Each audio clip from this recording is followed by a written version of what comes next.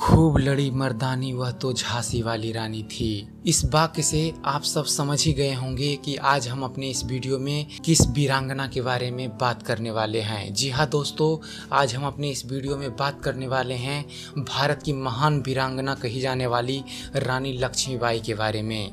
बताएँगे आपको उनके ज़िंदगी से जुड़े कुछ रोचक तथ्यों को। तो चलिए शुरू करते हैं। भारत को अंग्रेज़ों से आज़ादी दिलाने के लिए अठारह ईस्वी में आज़ादी की पहली क्रांति में बढ़ चढ़कर हिस्सा लेने वाली वीरांगना रानी लक्ष्मीबाई का जन्म 19 नवंबर 1828 ईस्वी को उत्तर प्रदेश के वाराणसी ज़िले के भदैनी नामक नगर में हुआ था।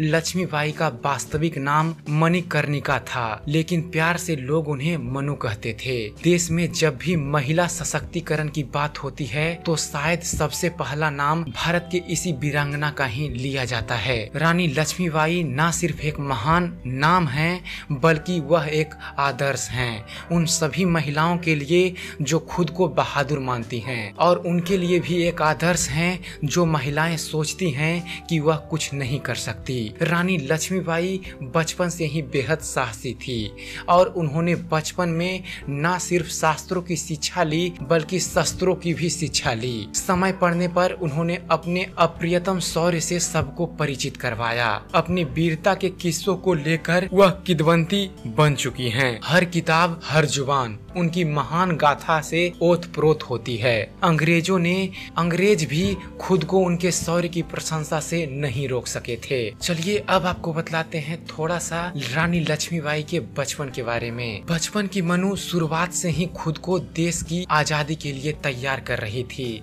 उन्होंने सिर्फ़ शास्त्रों की ही नहीं, बल्कि शस्त्रों की भी शिक्षा ली थी। छोटी सी उम्र में ही वह देश भावना के प्रति जागरूक हो गई थी। उनमें अपने देश को आज़ाद रखने की ललक थी। उन्हें गुड्डे गुडियों से ज़्यादा तलवार से प्यार था। उन्होंने हर वो गुड़ सीखा जो किसी शासक के लिए ज़रूरी होता है। चाहे वो घुड़सवारी हो या तलवारबाजी, मनु का कोई भी जवाब नहीं था। अब आपको बतलाते हैं कब मनु का विवाह गंगाधर राव से कब और किन परिस्थिति में हुआ। मात्र 12 साल की उम्र में ही उनका विवाह झांसी के राजा गंगाधर राव के साथ कर दिया गया। उनकी शादी के बाद झांसी की आर्थिक स्थिति में अप्रत्याशित सुधार हुआ, जिसके बाद बचपन की मनु लक्ष्मीबाई के नाम से प्रसिद्ध हो गई। घोड़सवारी और शास्त्र संस्थान में निपुण महारानी लक्ष्मीबाई ने झांसी के किले के अंदर ही महिला सेना खड़ी कर ली थी, जिसका संचालन वह स्वयं करती थी।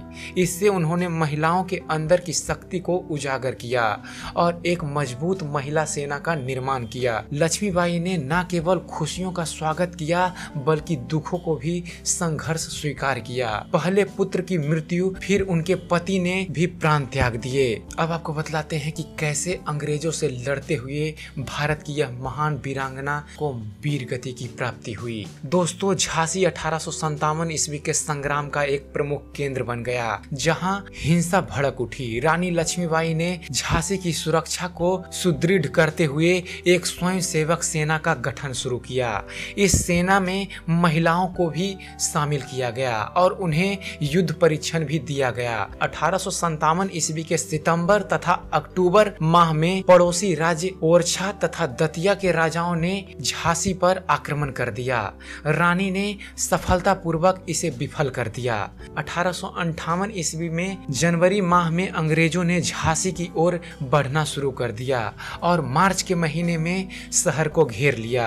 दो हफ्तों की लड़ाई के बाद अंग्रेज़ों ने शहर पर कब्जा कर लिया। लेकिन रानी दामोदर राव के साथ अंग्रेज़ों से बचकर भागने में सफल हो गई और कालपी पहुंचकर तात्या टोपे से मिली। तात्या टोपे और रानी की संयुक्त सेनाओं ने ग्वालियर के विद्रोहियों सैनिकों की मदद से ग्वालियर के एक किले पर कब्जा कर लिया। 17 जून अठारह को ग्वालियर के पास कोटा की सराय में अंग्रेज़ों से लड़ते हुए रानी लक्ष्मीबाई वीर गति को प्राप्त हो गई। लड़ाई की रिपोर्ट में ब्रिटिश जनरल ह्यू रोज ने टिप्पणी करते हुए लिखा, रानी लक्ष्मीबाई अपनी सुंदरता, चालाकी और दृढ़ता के लिए उल्लेखनीय और विद्रोही नेताओं में सबसे खतरनाक थी। दोस्तों, रानी लक्ष्मीबाई ने अदम्य साहस का परिचय देते हुए न सिर्फ़ आज़ादी की लड़ाई में अपना योगदान योगदान दिया, बल्कि महिलाओं के सशक्त रूप को सबके सामने रखा। वहीं लक्ष्मीबाई महिलाओं के लिए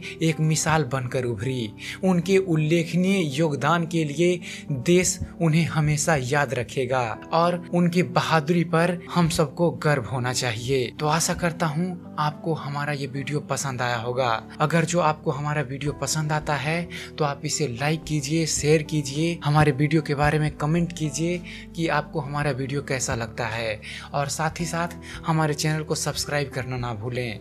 हमारे चैनल को सब्सक्राइब कीजिए और देखते रहिए, जानते रहिए। धन्यवाद। जय हिंद।